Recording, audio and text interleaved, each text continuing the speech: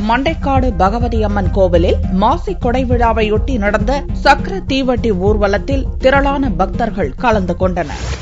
கன்னியாகுமரி மாவட்டத்தில் பிரசித்தி பெற்ற கோவில்களில் ஒன்றான மண்டைக்காடு பகவதி அம்மன் கோவில் பெண்களின் சபரிமலை என்று அழைக்கப்படுகிறது. இங்கு மாசி கொடை விழா கடந்த ஒன்றாம் தேதி கொடியேற்றத்துடன் துவங்கி நடந்து வருகிறது. ஒன்பதாம் நாள் விழாவான திங்கள் இரவு பெரிய சக்கர தீவட்டி ஊர்வலம் நடந்தது. தேர் போன்ற சக்கர வண்டியில் வட்ட வடிவில் அமைக்கப்பட்டுள்ள வளையத்தில் ஐம்பத்தோரு தீபங்கள் ஏற்றி அதன் நடுவில் விரதமிருந்த பக்தர்கள் நின்றிருந்தனர்.